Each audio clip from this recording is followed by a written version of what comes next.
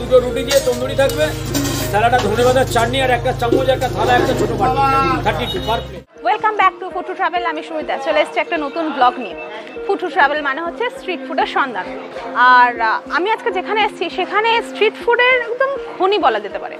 এত কম রেঞ্জে আর মানে এত পরিচিত একটা জায়গা কলকাতার মধ্যে, সেরকমই একটা জায়গা চলে এসেছি। আর এখানে এমন একটা দোকান আছে, সেখানে এত প্রচণ্ড পরিমাণে ভিড় হয়। আর যদি আমি সেই দোকানটা না করি, তাহলে কি করলাম? স্ট্রিট স্ট্রিট ফুডটাকে মেনলি আমরা ফোকাস করি। তো চলো, আর বেশি বক বক না করে তোমাদেরকে আমার সঙ্গে নিয়ে যাই। এসো আমার সাথে।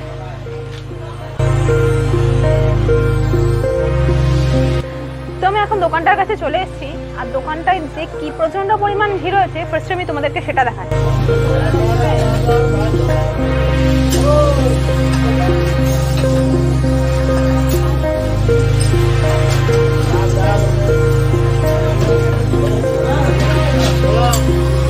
তাহলে দেখলে তো দোকানটা কি প্রচণ্ড পরিমাণ ভিড় হচ্ছে? তাহলে এখন আমি ট্রাই করে দেখব যেটা করি সবসময়, কি কি আইটেম পাওয়া যায়, তার কি কি রেঞ্জ আর সব কিছু সেটা তোমাদের সাথে শেয়ার করব। দেখো পুরো ভিডিওটা, ভালো লাগবে। আমাকে রুটি দিন তো। সংসারের বিলটা হয়েছে হ্যাঁ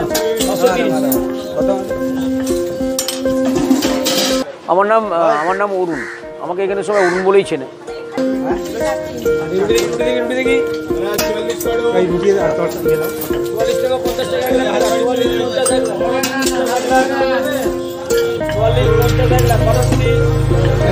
উনি মাসিমা মানে আমার উনি আমার মা। দোকানে মাসিমা নামেই সবাই চেনে, সেই হিসেবে আমিও মাসিমা। মানে মাসিমা বলেই ডাকা। হয় টোটালটাই প্রিয় ভেজ করি। না নন ভেজ আমি করি না। নন ভেজ রাখি না। আমার প্রত্যেক দিন নয় করে অন্তত সতেরো থেকে আঠেরো রকম ভেজ আইটেম থাকে। ডাল পনির আছে পনির। পনির মশলা। এটা পালং হাফের দিকে গিয়েছে। গিয়েছে এটা। এটা গোবিন্দভোগ চালের খিচুড়ি আছে গোবিন্দভোগ চালের খিচুড়ি। বেগুন সুন্দরী আছে। এখানে আসতে গেলে মানে এটা আমাদের আহ, কলকাতার বিখ্যাত খাবারের গলি। কলকাতা বিখ্যাত খাবারের গলি ডেকার্সমেন্ট প্রথম এর মধ্যে আমি একটা কথা বলতে চাই। যেটা কথাটা হচ্ছে এই গলিটা চিত্তবাবুর গলি নামে বিখ্যাত। আমার এখানে জানারাই মোটামুটি খেতে আসেন। বলেন যে হ্যাঁ, আমি খেয়ে একটু ভালো তৃপ্তি পেলাম। এটা আমার কথা নয় এটা আমার কথা নয়। এনারা দাদারা আছেন যদি জানারও ইচ্ছে থাকে সে দাদাদেরকে জিজ্ঞেস করলে বুঝতে পারবে।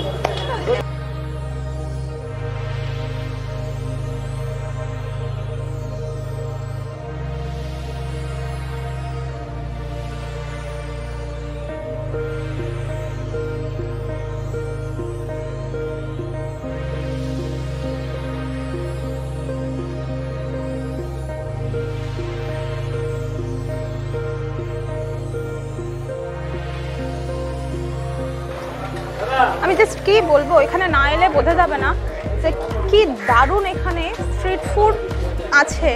একটা খনি বলা যেতে পারে।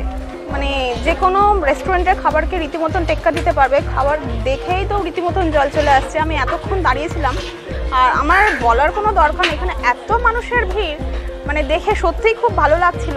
আর এখানে এত কম রেঞ্জ এই টোটাল থার্টিটা থার্টি টু আর থার্টি টু এর মধ্যে যে এত কিছু, আর হ্যাঁ একটা এইটার জন্য কিন্তু একটা মানে পালাক পানিরের জন্য কিন্তু একটা এক্সট্রা চার্জ করেছে ওরা।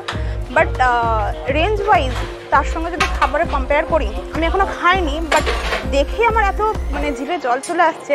তো আমি আর কিছু বলছি আমি আগে স্টার্ট করছি, তারপর বলছি কেমন লাগছে। হ্যাঁ আর বলা হয়নি, এটা হচ্ছে বাটার পনির বাটার পনির আছে।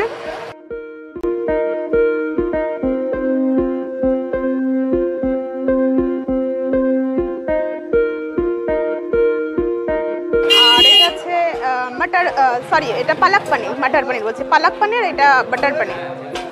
এটা তন্দুরি রুটি। তো একবার অয়েল ভর্তি উপরের দিকটাতে।